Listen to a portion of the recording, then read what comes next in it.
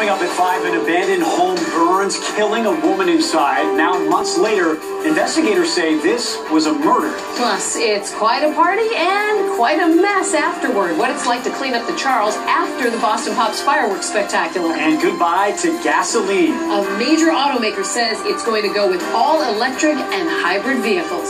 We've had a beautiful stretch of weather here. We do have some rain returning to the forecast. We'll time out when that arrives today at 5 o'clock.